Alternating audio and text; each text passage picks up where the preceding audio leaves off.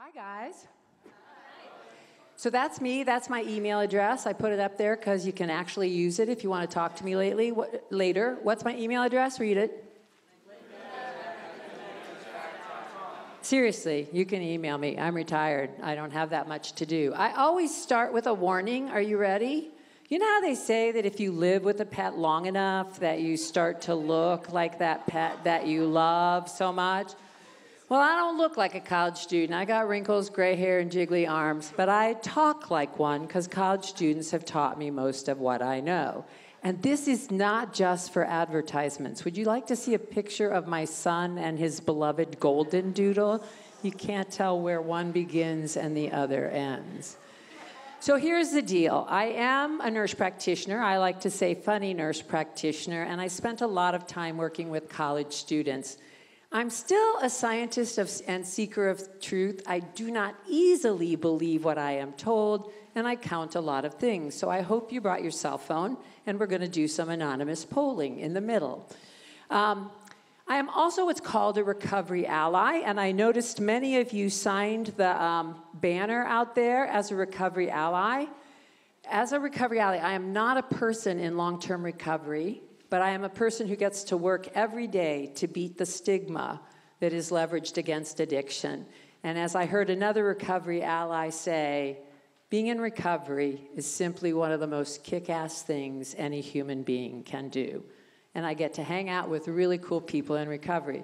I would like to thank your family for uh, supporting this cause. 100% of my fee will go to the JHW Foundation, which sponsors young adult recovery. And they were essential in starting Rams in Recovery at VCU, which now has 100 students on campus in recovery, and there are 12 colleges across our state. I would love to see one. I know it kind of comes and goes at Villanova, but if you know someone or a faculty member, you too deserve a collegiate recovery program. Now, I should never admit this, but I have a very unusual fantasy life because when I say that, I lose half the people's attention in the audience. Would you like to know my current fantasy? You're like, I don't know, old white woman, kind of creepy. But anyway, here's my current fantasy. Um, I would like to change the way we do health education. I think it should all just be about awareness and curiosity. I don't even call drugs drugs anymore. I call them molecules because we're too judgmental and I've switched to calling them habit loops. And you know, I've spent my whole life watching things, and I do not give young people advice. Are you ready?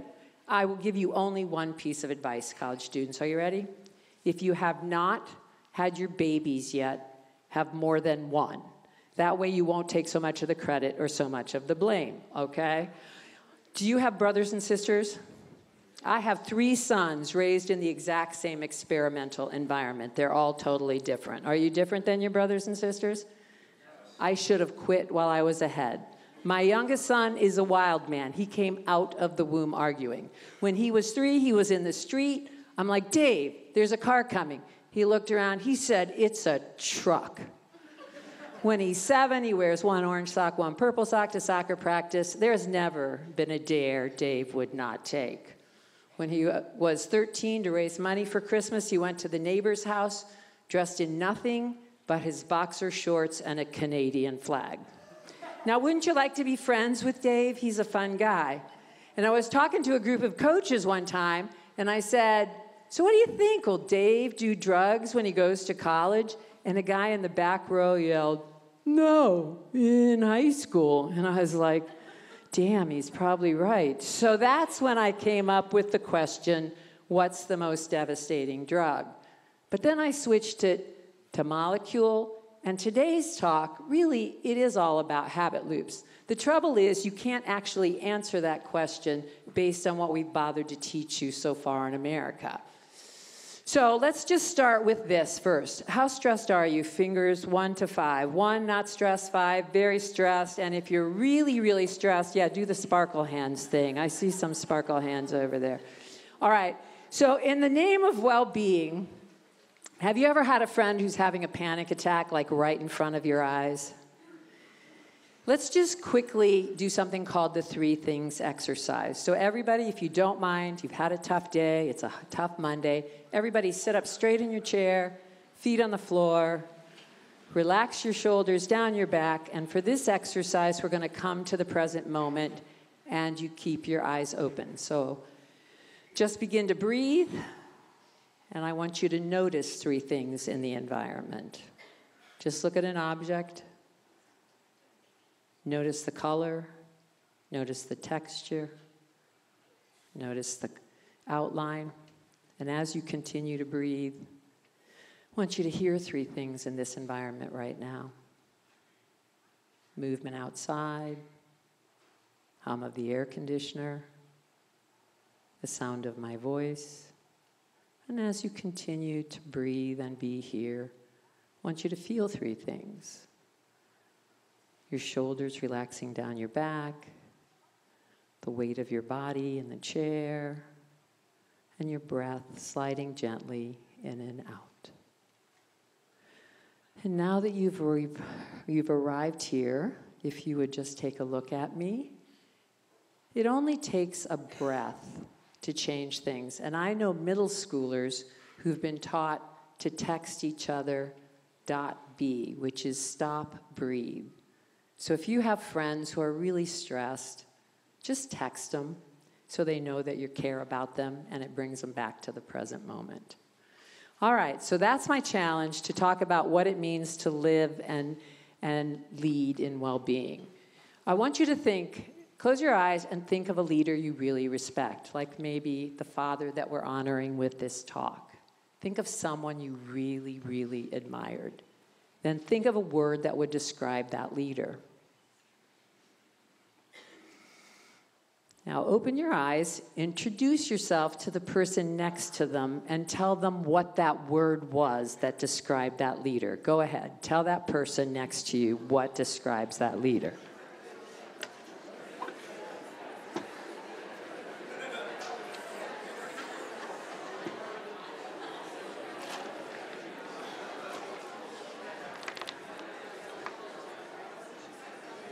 All right. Can I have a few brave people raise their hand and give me some words? What words have I got? Way in the back, yell it out. Passionate. What else have I got? Somebody cares. What other words? Yeah. What? Caring. Did anybody, anybody over here say caring? Look at the front row nodding their heads. Everybody said caring. Was a lot of that, was that a lot of you come up with compassionate or caring? Was that one of the reasons they were sincere about it? So, in order to be that compassionate leader that so many of us uh, admire, I'll tell you the story of the habit horse. There was this guy, and he like rode across campus every day, looking very official, going places, back and forth, back and forth. One day, somebody yelled and said, Hey, where are you going? And the guy said, I don't know, ask the horse. And the point is did you know 80% of our lives we live unconscious of what we're doing? Rarely are we present in our own lives. And so, to really be a leader, to really be compassionate in your community, you have to know what you're doing in the present moment. So, I'm a nurse and a scientist, and I know that habits are not bad, they just are that they helped us survive and that this is our operating system right there and we need to understand it. Everything you do. How many athletes? Where are my freshman athletes? They're athletes. Aren't habits your friend? Aren't you taught to throw a certain way, dribble a certain way, run a certain way so that it becomes unconscious and you just do it in the moment? Habits are good and they help us do a lot of things and they save us time. And and habits have been going on everything, all the way up from the sea slug to all other animals. And they now, because we're human, we can think, plan, and create. We can also get ourselves into trouble with that. So I do have bribes. I have lifesavers for people who will talk to me. Um, so if I was to ask you, and you have to think outside the box, what is the most common addictive habit loop on this campus? Who wants to guess? Raise your hand. Who wants the lifesavers? Come on, where we go? Over here. What do you got? Oh man, she nailed it right there, looking at our phones. Here we go. I actually can hurt people that way. Give her a big round of applause. Did you know They actually hire psychologists to make it addictive. You get a little hit of dopamine every time you take a look at that phone. And they know that neurons that fire together wire together. So I need to do just a little bit of education. This is a picture of Bonnie. Bonnie was the first president of RAMS in recovery. Bonnie started using molecules at 13, was addicted by 16, and in recovery by 19. And Bonnie was a criminal justice major. And her professor that day was talking about how criminal justice issues overlap with substance use issues. And the professor was using terms like junkie, pothead. And Bonnie, instead of getting angry, just wrote those derogatory terms down, made tally marks, and at the end of class went up to her professor and said, Hey, I really enjoyed your class until today, but you should know that I'm a person in long term recovery, and every time you use one of those hurtful words, it endangers my sobriety and it prevents other people from coming forward. And the professor was like, You are so right, light bulb moment. Will you co present with me at the next class? So, if you know this terminology, people first, it is people with substance use disorders, people with opiate use disorders, alcohol use disorders, nicotine use disorders. I love people who smoke and vape. I think they're interesting people. Like, it's just my job to keep them on the planet longer. They're interesting people. Yes, cannabis use disorder. Abuse is a negative term. We try not to use it and instead use use and disorder. Addiction is still the most severe form. And we try really hard not to refer to someone as clean and dirty because people are not clean and dirty. People either test positive or negative. And this is the most boring slide in my slide set, but everything in life is on a continuum. So 60 to 70% of people either won't use alcohol or won't use in ways that hurt themselves or others. 10 to 20% will use in ways that can hurt themselves or others, and 5 to 10% will go on to have the disorder, and that too is on a continuum mild, moderate, and severe. So, why do I bother to share this with you? Because it's how you treat the people that have issues.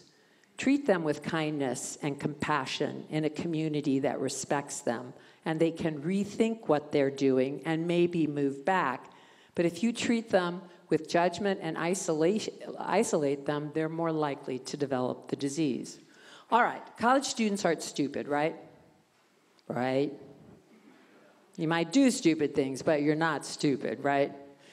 So turn to the person next to you. I bet you're pretty smart. People get stuck in habit loops. I want you to come up with at least five reasons why people might choose to use a molecule. Go ahead, five reasons now.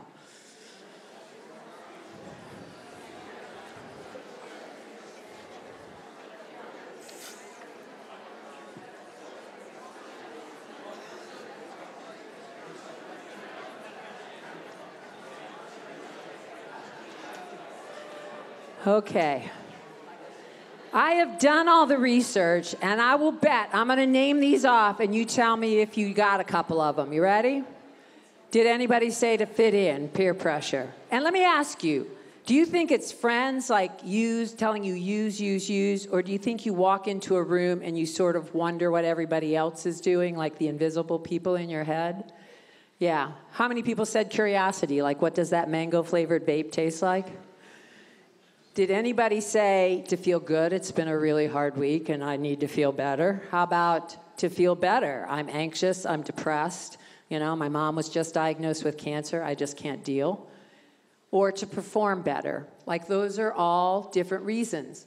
So, I am going to kind of talk about this one. This is not an alcohol drug talk. I know it feels like it right now, um, but these things are all kind of. So, stress is a big one. And there's a big difference between why people might start to use, maybe I'm curious, um, or because my friend is using, but then why they continue. So when I was a young nurse, I worked in a neurointensive care unit, and I would see young people who got liquored up drive into walls and broke their brains. And this is when I fell in love with the molecule nicotine. It's a fascinating molecule. So this one guy is unconscious on my respirator fighting my respirator, and his girlfriend taps me on the shoulder and says, He's a two pack a day smoker. I'll bet if he stuck him on a nicotine patch, he'd calm down. Unconscious, I stick him on a nicotine patch, calms right down. Nicotine is a fascinating habit loop molecule that is difficult to stop even in a coma. And this is where I learned that all human beings are charming genetic snowflakes. No two people are the same. Did you know out of four people who tries nicotine, one in four is missing a gene that makes an enzyme in their liver to break it down? They try to vape or chew or dip, they're going to turn green and puke. They got no enzymes. And the same thing is true for alcohol. You know how you go to a party and like there's always that genetic snowflake at the party who has like one beer and they're like, oh my God, so drunk. And you're like, seriously? Like you had a half a beer. And then there's the other guy at the party who like the first time he drinks can put away eight, 10, or 12. And you're like, and if he feels nothing and everybody else is having a good time, what's he going to do? Drink more. Probably going to get social acclaim, probably not have a hangover because people are different genetic snowflakes. I definitely have a lifesaver pack for this one. I've been working with um, people that are so severely addicted that they are homeless now. So I work at a place called the Healing Place, that's where I volunteer. If you were to predict what, what they teach you in high school was the gateway drug, didn't they tell you weed, cannabis, right? Although I was at a high school and they're like, marijuana, what's that? I'm like, well, what do you guys call it? And they're like, Zaza. like, okay, Zaza. Um, so they taught you it was weed. What do you think the real gateway to severe addiction is? Come on, lifesaver. Who wants to take a guess? Alcohol can be a gateway drug. That's it's, you got to think outside the box for this one. What do you got way in the back? What did he say? Society? No, that's outside the box, so I'll give you that. What'd you say? Sugar is definitely outside the box, not where I'm going. All right. Who's my red bandana people? I mean, my green bandana people. All right. Actually, the real gateway to severe addiction is trauma. I mean, if you have had some type of trauma, doesn't matter what it is, and you find a molecule or a habit that soothes you, do you see how hard that is to break that habit loop? So that's the real gateway drug. So, as leaders, both for yourself and for the people that you will serve and lead, you have to understand you cannot cheat biology. And knowing how your operating system works will be the biggest difference in your lives and their lives. So, I was talking to a group of NCAA athletes. I do the NCAA athlete conference all the time and I was teaching about anxiety. And the conference planner's daughter was like, Oh, she's like seven. She's like, I know about anxiety and mindfulness. We're studying it in class. And I'm like, Okay, girl, come on up here. She's like seven. She says to me, Well, this is my brain. It kind of looks like a brain, doesn't it? She's like, This is my brain. This is my amygdala, my warning, warning, danger part of my brain. This is my emotions. She says, When I get anxious or angry, I flip my lid. Have you guys heard this? It is so true. And when you have flipped your lid, can you use your prefrontal cortex? Nope, it's offline. And she proceeded, Here, I'll teach you what she taught me. Put your hands out in front, turn them upside down Cross them. Link your fingers. Bring it in. Give yourself a big hug. That was one of her skills. She's seven and she knows her brain can flip its lid. So here's what I'd say your brain is like a three layer cake with only one way in and one way out. You cannot talk cortex to cortex to somebody who's upset. Have you ever had a friend who's like having a major meltdown? Are they irrational? So, so talking to them is a waste of time. So, as a leader, what you need to know is if the people that you're working with have flipped their lids, you need to, they teach police officers and firemen to get down on the level of the kids so they're not so intimidating. If you have a friend who's upset, don't talk to them. Their cortex is offline. You could take them for a walk outside you could rock in chairs, you could breathe, you could color, but until they have their amygdala they're calmed down, that and then just notice the feelings because if you can name the feeling, you can tame it, and finally they will be able to talk to you. All right, do you have research crushes? Everybody in college should have research crushes. This is my current research crush. This guy's amazing. Addiction psychiatrist, researcher, 25 years of mindfulness practice. His name is Dr. Jud. He says we all struggle with something anxiety, emotional eating, smoking, shopping, anger, you name it, we all got issues, and change is possible. And for those of you who are like, I don't know why this lady is droning on about molecules, I don't use them, I'm never going to use them, it's not an issue for me. But we all got issues. Maybe it's we want to eat better. He, he really has a great book on anxiety.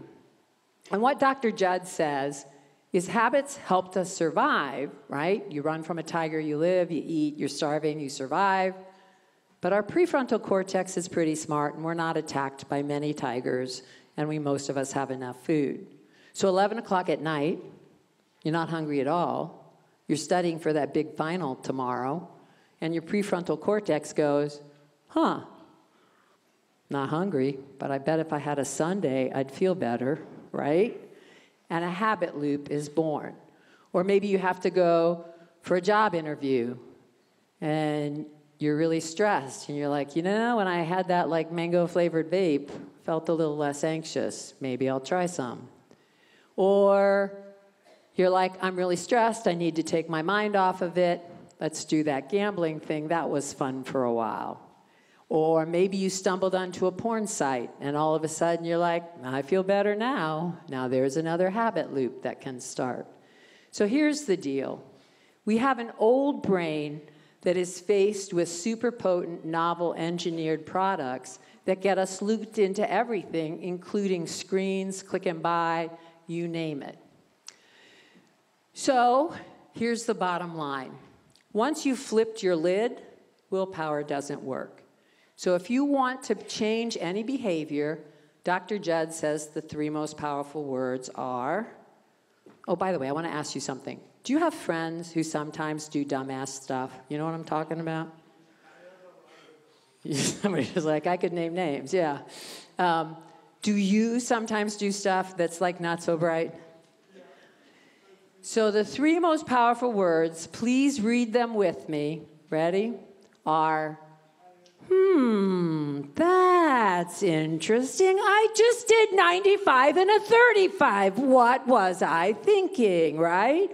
Where you do something, and if you beat yourself up, is that going to make you feel any better or more effective? No. It's only when we take a step back, and here's how you step out of habit loops. People do stuff just trying to survive. It's hard to get through life. Don't judge the people you work with or the students that you know. Life is hard. But if you can be aware of what's triggering your behavior and then get really curious about what's going on, now you got something going. So I think as a leader, you should understand people get isolated and beat themselves up because they think they're the only ones. And they think, you know, habit loops. I'm what's called a social norms researcher, so I love to look at what people think is real and what's really real. So I'm going to ask you guys really quickly. Well, by the way, you do know this pencil is not broken, right? That's an optical illusion. But did you know there's social optical illusions as well? Like you get stuck in ruts. So let us, let me prove it to you. Let's spell this word out loud three times fast. Here we go. You ready? T O P S. What do you do when you get to a green light? I go when I get to a green light, but many of you said stop because I put you in a little mental rut. Okay. What color is my paper? What color is this paper bag? What color is this paper towel? What do cows drink? Cows drink water, cows don't drink milk. But I put you in a little mental rut, so you kept on going. So if the only thing we teach you about molecule habit loops is don't drink, don't drink, don't drink, we've in essence put you in a little mental rut, and you might think everyone drinks, but like, do they? Then it gets worse. Our culture says, don't have sex, don't have sex, don't have sex. And then we're pretty sure everyone's getting it but us, right? Like, so what would you say to doing a little experiment? This is only for the college students, sorry, faculty member that are here. Will you look around the room? Would you like to know the truth about other people's issues? But it only works if we tell the truth. So grab your cell phone, get it ready. I'm asking you, all right.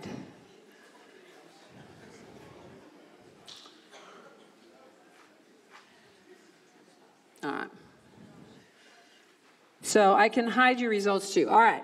So you can either take a cell phone picture of this, take your cell phone, hit on the QR code, or you can just go to menti.com and type in those digits. And when you get there, if you could give me like the thumbs up, then I'll know that you're in. So go ahead. If you need to move around, get up to get in there to get in. I want to get as many people as possible in on the polling. And this is for, well, Faculty, you can do the first couple ones, um, but then it's students only, all right? So everybody can get in. Everybody good? And the instructions will be on every slide. So I got 160, almost 170 of you in. So I'm going to go ahead, but you can keep joining, all right? All right. And don't forget to hit submit at the end because it will show up on your cell phone so that you can do that. All right. So, what habit loop issue are you most interested in? Nicotine, cannabis, alcohol, anxiety, overeating. Oh, and I'll prove to you I can, I can hide it and then show it up again. Gambling, porn, other. Go, go, go. I like to prove to you I can just show it and then it'll pop back up. So, Anxiety, no, no big shocker. This is Villanova. It's kind of high pressure to get in here. Screen use is number two, but there's a whole bunch of different issues. Do you notice how it's on a continuum and that not everybody has the most important habit loop that they're interested in? All right. I'm just curious why you came tonight, if you don't mind telling me. Was it the food or the giveaways? Did you come with a friend? Was it for ACS or Thrive C60 to improve what you know about personal well being, developing leadership skills, or other? Ooh, 20% are saying other. What's the other? What? Athletics. Is that the one I missed? Yeah, that's you guys. Yeah, thank you guys for being here. I appreciate it. Okay, I was just curious why you guys came. All right, so here are perception reality questions. These are only for students, and I am going to hide them until most of, like I get 160 of you in. So Look around the room, give me your best perception guess. How many days do most students in this room drink energy drinks? Go ahead. Zero days all the way up to every day. Go ahead, click it in. I got 80 of you in. I know you don't know the answer. Just give me your best guess. We're talking Red Bulls, Monsters. We're not talking coffee. What is your. All right, I got 180 of you in, so I'll show you. So, you guys think most people are using energy drinks three to four days per week and only 14% said zero. All right, so be honest. How many days per week do you use energy drinks? Click it in. I'll stop when we get up to at least 160. No judgment here. It's fine. You can use energy drinks. All right. You guys were guessing 14% zero, and in reality, it's like 69% zero. In most groups that I go to, seniors through freshmen, 60 to 70% of people don't use energy drinks. Why don't you, most of you don't use them. Why don't you use them? Cost five bucks? Taste bad? You like coffee better? Whatever, right? Okay, no judgment. It's just people are different. But you guys thought most people drank them. Why do you think that is? Because they're advertised to you, you see the colorful cans. So there is a big difference between perception reality. All right. Look around the room. I don't go to Villanova. I want you to guess how many days per month. I'm going to hide the results. how many days per month do you think most students vape nicotine? Go ahead. I know you don't know the number, but just give me your best perception guess. Go, go, go. And you guys are guessing, got over 160 of you in, and you guys said you think every day. Okay, really? And only 6% said zero? Okay, so that's your perception. It's easy to see people that vape because they hold something. So now be honest, and I'm going to hide it.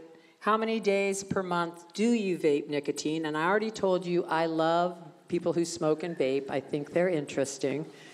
I just want to keep them on the planet longer. Okay. And in reality, it's like 76% of you, 78%. And those of you who are in that habit loop, that you do it daily, and those of you who are on the way, just realize most people don't vape, but it gets linked to the environment in that habit loop. And if you are a genetic snowflake, it can be hard to quit. And that's why it doesn't hurt to ask somebody. All right, I don't go to Villanova, so you guys tell me how many days per month do most students drink alcohol? Zero to five days, all the way up to every day. Give me your best perception guess. And you guys said you think most people are drinking six to 10 days. What'd you do? Add up Thursday, Friday, Saturday, gave them a day off for good behavior. Some of you are saying every day. Only 9% said zero to five. All right, be honest, no judgment. How many days per month do you drink alcohol? And nobody knows who's putting in which answers. This is totally anonymous. And you guys said, the majority of you, it is zero to five days. And some of you, it's every day. So, you know what really frosts my Fruit Loops? You know those stupid sitcoms like Desperate Housewives and those movies where every night people go home and have a glass of wine, every night people have a beer? If you want to get a habit loop entrenched in your body, doing the same thing all the time connected to that behavior makes it very difficult to stop. So there's no judgment, but I wish we would talk to people in ways that they could get what they want, not what they don't want. So um, I think you guys only have medical marijuana here in uh, Rhode, Rhode Island, correct? Is it medical? All right, anyway, just curious. How many days per month do most students use cannabis, pot, or Zaza, as they say down in the high schools in Richmond? Not devil's lettuce, but Zaza. Okay. Um, and you guys said, you guys said, you think, eh, one to five days, and only 12% said zero. All right, be honest. How many days per month do you use cannabis? And you guys said, in reality, most of you don't, and some people it's every day. So the thing to do is look at what you want. When I used to see students who used uh, cannabis on a regular basis every day, most of them were trying to treat anxiety. That was the reason that they were using. And unfortunately, it will work, and then it'll kind of yo yo on you, is the thing that I see. So it's that like thinking through um, the connections and habit loops. Okay, if the person next to you has fallen asleep, go ahead and wake them up because we're going to talk about sex now, all right? So I did notice as you were coming in that you're a very good looking group of people, all right? So I want to ask your perception. How many sex partners do you think most people in this room get per year? I'm talking like 12 months, not just since January, like an entire 12 months. Give me your best guess. All right. And you guys go, the people are still counting their fingers and toes. Come on, guys, click it in here. Make a, just take your best guess. All right, and you guys said you think most people, two to three partners, there's always somebody who thinks everybody's getting it but them. Always, always, always. And only 11% said zero to one? Okay, all right. Be honest. I know you know this number. How many sex partners have you had in the last 12 months? Totally anonymous. You don't have to answer. Just tell the truth if you want to tell the truth. I mean, if you want to engage. And you guys were not guessing very many zero to one. And in reality, it's like 69%. That was okay, almost all. All right, there we go. And some people are getting a lot of sex. So here's the deal If I brought, what I have done this polling with a million students, and in every group I have ever talked to, zero to one is always the most normative response. What do people really want in their lives? Relationships, not worry about diseases. And by the way, who's getting more sex? The person with one sex partner per year, the person with five? They're getting it on a regular basis and they're getting better quality because they're practicing, okay? Like people are people.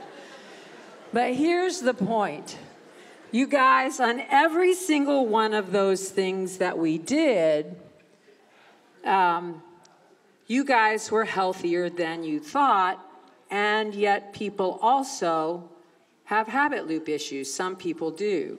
So the point is not to judge people, but to realize that things that stick out, we overestimate, things that are hard to see, we underestimate.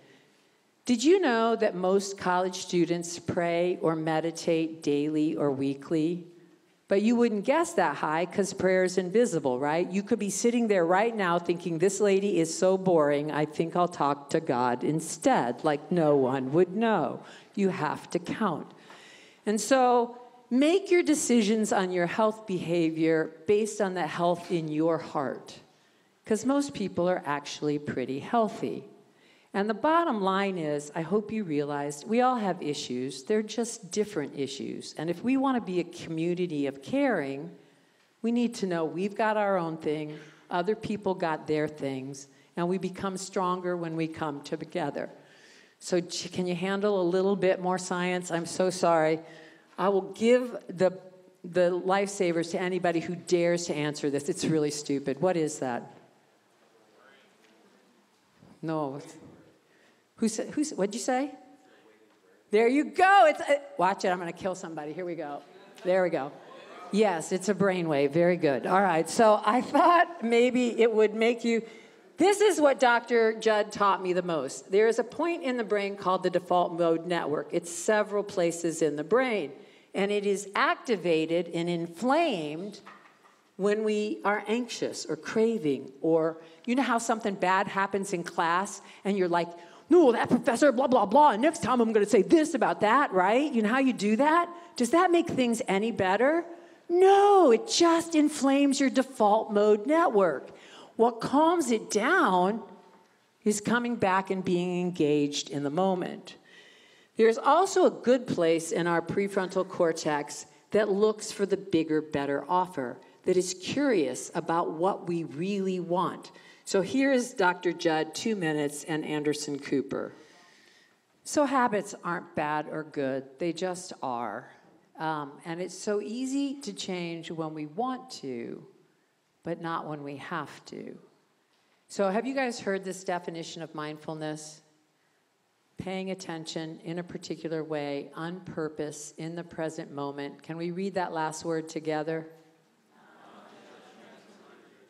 We spend so much time judging ourselves and others. As leaders, we have to let that go. And I think everything in life is like shoes. You know, I try on shoes and some fit and some don't, but you don't give up wearing shoes. That's the way it is. Teachers are like shoes, counselors are like shoes, everything's like shoes. You try it on, you see if it fits. Majors are like shoes. One of the shoes that fits me is when I was at VCU, a student painted this for me. Like my boss was always upset with me because I was pushing the envelope and my head would be swirling around. So the minute I leave a door space, I try to be like the dog and just notice what's going on. Because really, who's happier, the dog or the guy? Who do people like better? I'm just saying, okay? So, if you were to look at mindfulness, there's unfocused awareness practices like stepping outside and notice what's going on, mountain biking, art, music. But there are also things called focused awareness practice, and these are things like seated meditation or centering prayer. These are tougher. People don't usually do these unless their life is a mess. If your life is really stressful, I knew this second year, this first year medical student who meditated every day. He had been in a car accident that he caused. He owed somebody $2 million. He was a little stressed, but mindfulness changed his life, and he made a way better doctor.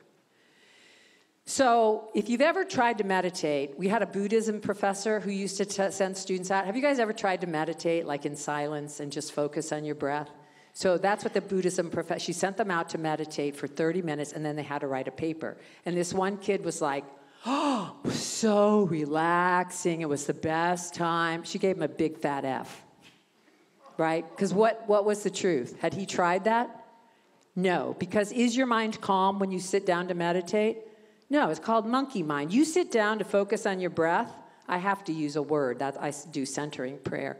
Um, your mind will immediately go, My nose itches. Oh my God, did you see that funny cat video? That professor so ticked me off. I've got this due and I got to get that, right? That's normal. It's noticing that your mind watered and returning to your breath. It's noticing and returning, not judging. Noticing and not judging. If you went to the gym and did one curl, would that change your body? Same thing with the mind. You can't just do it once, it has to be done. It's called the daisy pattern. And so it's not emptying the mind, it's realizing that you are not your thoughts. You are the awareness that can step back and notice your thoughts. Okay, how many of you are going to be leaders or bosses one day? Get them up. You guys, you guys are smart. You're all going to be leaders and bosses. What is the number one reason people leave their jobs? Their boss is a major jerk. That is the number one reason. Their boss is on a habit horse and is unaware that they have issues or that their team has issues, and they are not acting with compassion. So I'll just tell you this story in my life. So when baby Dave was 15, I offered him 50 bucks for Christmas if he could answer the question, What's the most devastating drug? And he immediately came back, Mom, nicotine, legal product, kills so many people. I'm like, Good thinking, Dave, not what I'm thinking. Next day, Mom, alcohol, legal product, DUIs, kills people. Good thinking, Dave, not what I'm thinking. Then he went to heroin and crystal meth. Finally, after two weeks, Dave comes back. Mom, I got it. It's not a drug, it's an idea. I said, That's right, Dave. The answer to the question, What's the most devastating drug? is, of course, the one you like the best. It is really, truly the habit loop that meets the need in your life. It's also the one that is in your environment. So if a gambling app is easily accessible to you or other things, could be that. And if you have a history of trauma and you're trying to deal with something and it helps, that can be hard to change. And so it really ultimately is the habit loop with no awareness and too much judgment. So these are a picture of my three sons. The one in the middle is baby Dave, my big goofy son. Baby Dave stands 6'4, 200 pounds of muscle. Baby Dave was never going to go to college. He was going to be a Navy SEAL. And two weeks after this picture was taken, he was diagnosed as a type 1 diabetic, which means he has to shoot up insulin every day of his life, and he could not be in the military. He got angry and depressed, started punching out doors, burning holes in his arms. He's in counseling, we're in counseling. I had him all packed up to go on a therapy trip what does a pissed off 17 year old do? Ran away. Your friends will take you in for the night, but they won't raise you.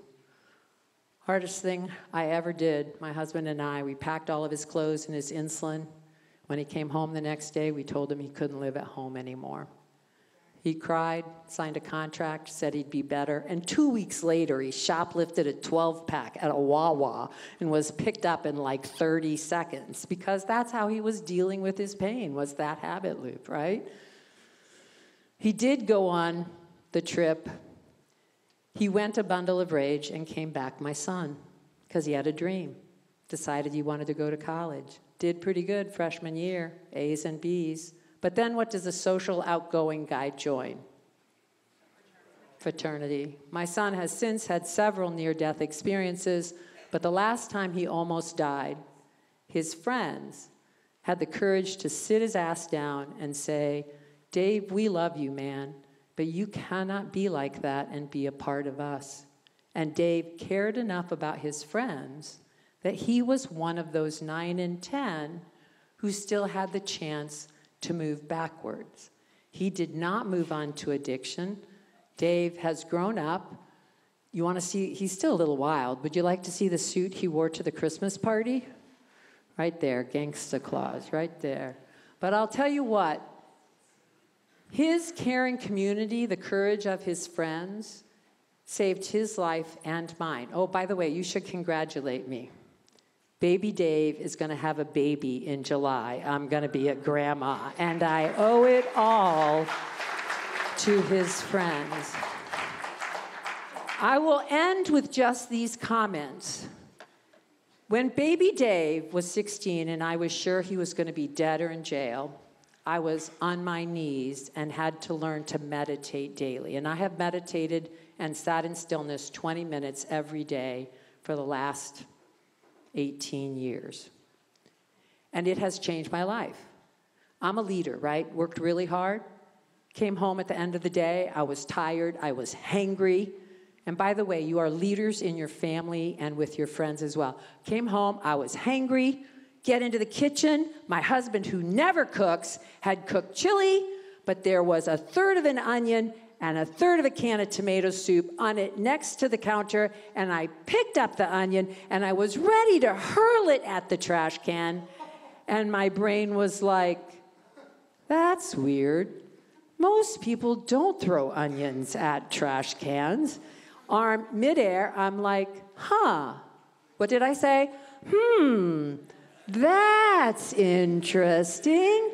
Wonder why I'm doing that.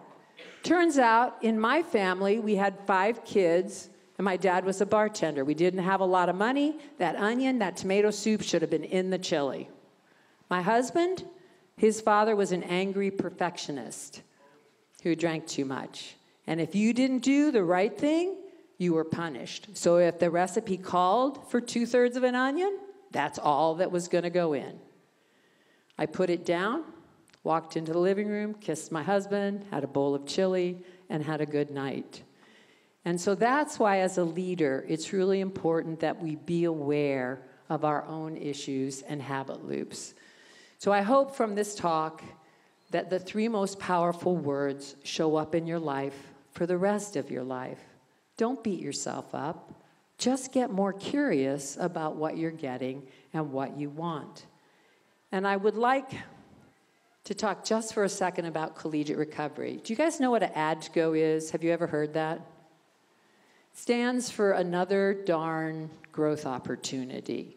So we used to think success looked like this, but my students in recovery have such great wisdom because they've had to deal with really challenging habit loops. So if you think you got issues that can't be solved, that's like not true. Of course they can be solved. Um, I am going to ask if you don't mind because I'm seriously trying to figure out whether I should just shut up and go watch birds or keep talking. Like, I'm like, really, Linda, you got issues. You should just go bird watch. But anyway, um, so be honest. Uh, it's like texting. If you're still in, go ahead and just give me a couple comments about what you thought about tonight. We do have a couple minutes for questions, and then I think there's some other people coming up after me just for a couple minutes. And you're going to get t shirts and you're going to get stress balls. So type in those things. Uh, the responses are hidden. Hit submit when you're done so it flies. And does anybody have questions while people are typing comments? Because I am happy to answer any questions and I'd love to hear comments. Was this a waste of your time or helpful? Was it helpful? Thank you. Appreciate that. Oh, and by the way, I have Baby Dave's permission to tell this story because I know they're videoing it back there. Yeah, he loves me. He put up he puts up with me pretty well. Oh, and guess what? He's decided after all these years of being Irish that he's a Viking instead. His DNA says those Vikings must have. So the baby's name is going to be Odin. Yes, baby Odin James. All right. Questions, comments? Thank you for submitting them. I know some of you probably got class. I am going to stick around for a while afterwards. Any questions? Was it worth doing the perception reality thing? Was that helpful at all? You guys are really pretty healthy. And actually, for your orientation people that are here, all incoming freshmen should know that they're healthier than they think and that this, the world, and you can do that. Mentimeter is so cheap and free. You could do this. I could teach you how to do that. Okay? All right. What's up next? Thank you for your comments. I'll just let it run. Thank you very much.